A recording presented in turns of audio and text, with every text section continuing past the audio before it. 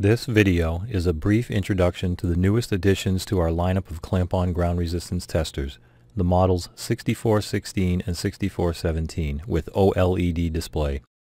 These testers allow measuring of grounding electrodes and grid resistance without the use of auxiliary ground rods. These instruments can be used in multi-grounded systems without disconnecting the ground system under test. With onboard memory, measurements can be stored for later analysis. The 6417 also features Bluetooth communication with our DataView software.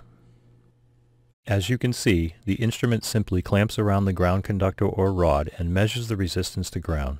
The clamp's high sensitivity enables measurements of leakage current flowing to ground or circulating in ground loops from 0.2 milliamps to 40 amps and resistances from 10 milliohms to 1500 ohms. Safety checks of voltage and current are automatically performed to help ensure conditions are safe and noise-free for valid measurements. Above you can see there is approximately 1.6 milliamps of current on the ground rod and the ground resistance is approximately 27.5 ohms.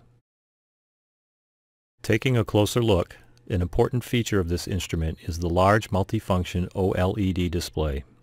This is a 152-segment organic light-emitting diode screen. OLED technology results in a thinner, lighter, sharper, higher contrast display when compared to LCD screens. The OLED display also consumes less power than traditional screens and helps to maximize battery life.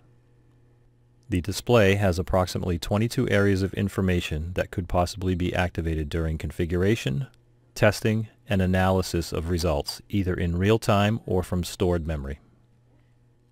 OLED technology renders the screen visible through a wide 170 degree viewing angle. This ensures the displayed data remains viewable from many different viewing positions. The OLED display is also ideal for bright ambient conditions, for example, when viewing outdoors in sunny conditions, press the brightness button on the instrument's front panel to enhance the contrast on the screen. This button is identified by its bright light icon. With the display contrast set to high, the screen is now easily visible even in the brightest natural conditions. This concludes our quick introduction to the 6416 and 6417 with OLED display screen. For more information about these and all other AEMC instruments, please visit our website at www.aemc.com or subscribe to our YouTube channel to keep up to date on all future video uploads. Thank you for your valuable time and attention.